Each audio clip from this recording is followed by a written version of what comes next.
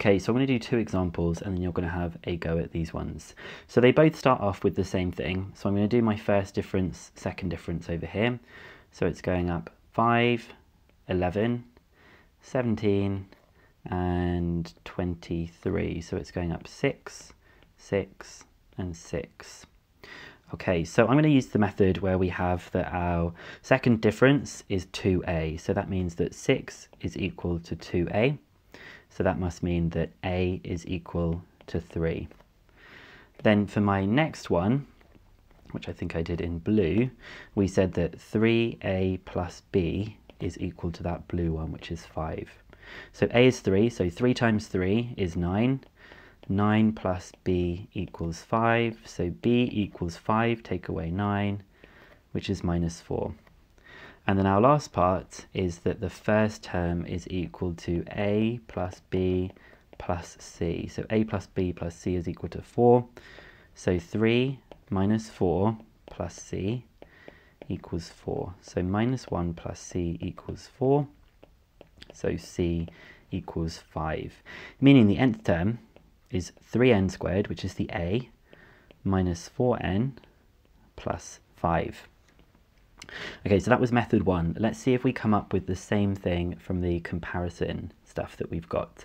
So we know it's going to be our sequence. Our sequence that we have goes 4, 9, 20, 37. I don't need to do all of the terms. And then I'm going to be doing our 3n squared because the second difference is 6. So we half that to get the 3. Now n squared for the first position, that's going to be 1 multiplied by 3. Then we're going to do 2 squared for the second position, which is 4, and then times it by 3. 3 squared is 9, times it by 3 is 27. 4 squared is 16, times it by 3 is 48. So we're going to do the sequence, subtract the 3n squared. So 4 take away 3 is 1. 9 take away 12 is minus 3. 20 take away 27 is minus 7. 37 minus 48 is minus 11. So when we do the nth term, we know that this one is 3n squared. We now just need to find the nth term of this one. So it looks like it is going down in fours each time. It is going down in fours, which means it's going to be a minus 4n. And the previous one, if we were to work out what would have been before, would be a 5. So it's minus 4n plus 5. So recombining them and putting them back together, it is 3n squared minus 4n plus 5. 3n squared minus 4n plus 5. So we've got both of these methods ending up with the same answer. Let's try one more of these and then you can have a practice. So we're going to find the nth term of this one. We're going to do the same thing as before. We're going to do the first and second difference. So they have a difference of 0.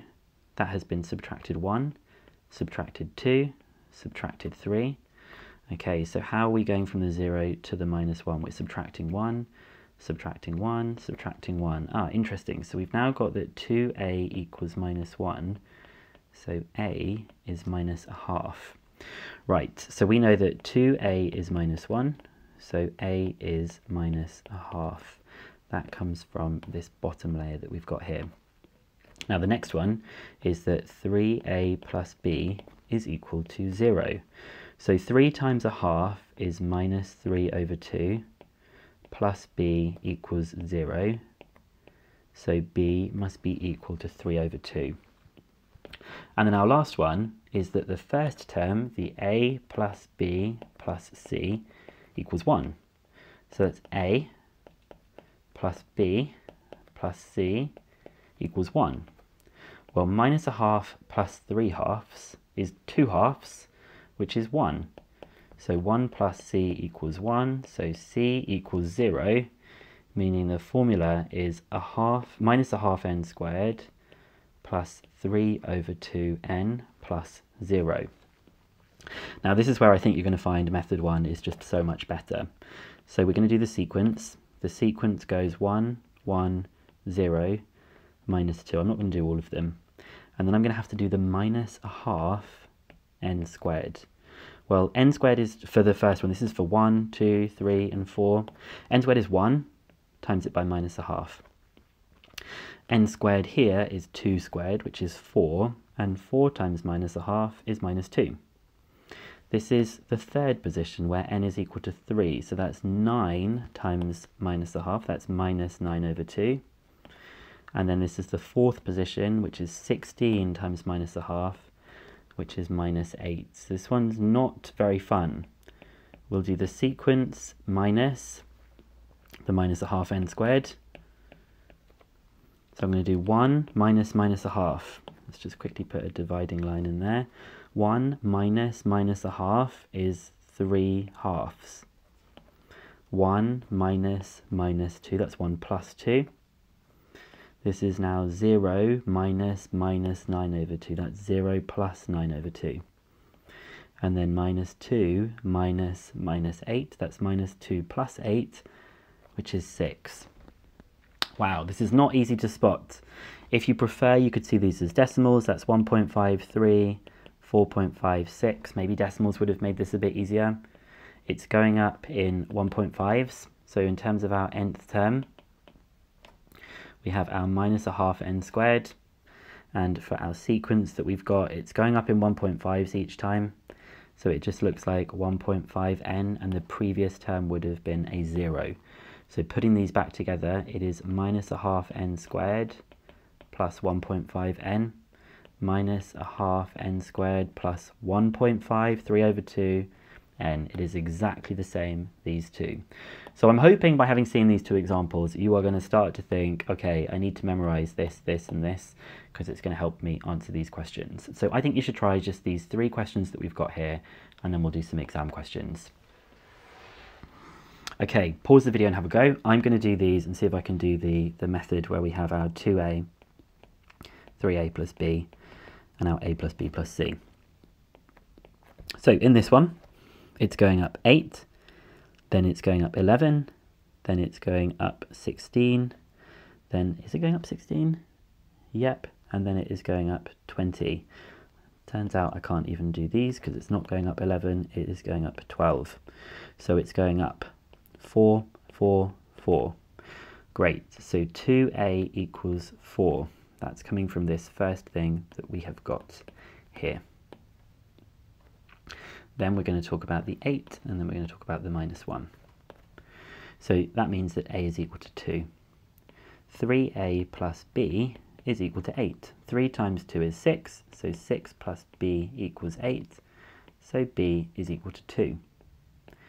a plus b plus c equals minus 1.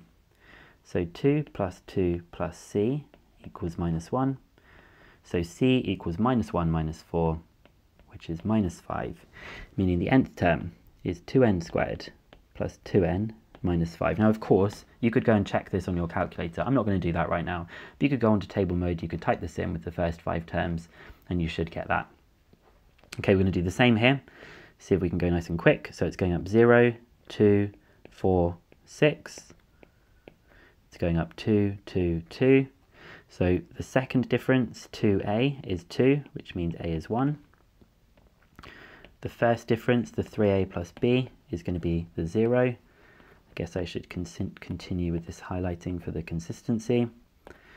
3a plus b is equal to 0, so that's 3 plus b equals 0, so b is minus 3. And then we're going to have a plus b plus c equals 8. 1 minus 3 plus c equals 8. So I'm going to do the 8 plus the 3, which is 11, minus the 1, which is 10. So C is equal to 10. So the nth term is going to be a n squared plus bn plus c. And I'm just going to move that up a bit here and just draw a line so it's clear that that's a different question. Okay, we're going to do this last one. Let's see what it's going up in. It's going up 5, 8, 11, 14, it's going up 3, 3, and 3. So the second difference is 3, the first difference is 5, the first term is 2. So 2a is equal to 3 meaning that a is equal to 3 over 2, or you could say 1.5.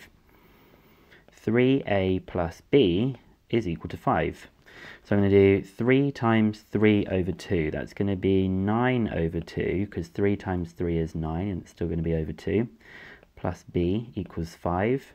So you can do this in your calculator, but 5 minus 9 over 2, that's 10 over 2 minus 9 over 2. b is equal to a half. And a plus b plus c is equal to 2. So 3 over 2 plus 1 over 2 plus c is equal to 2. Well, 3 over 2 plus 1 over 2 is 4 over 2. So 2 plus c equals 2.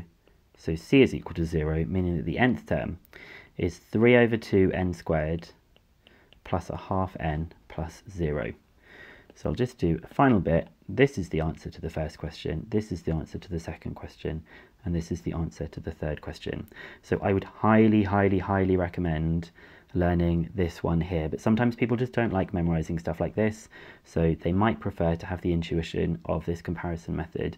But I think this second example here just shows that things can get really, really messy. So in the last video, I'm just going to do two exam style questions on this. Found this video helpful? Then why not drop it a like and consider subscribing to my channel. If you'd like the next video in the playlist, you can click here to be taken straight to it. And as always, wishing you the very best for all your studies.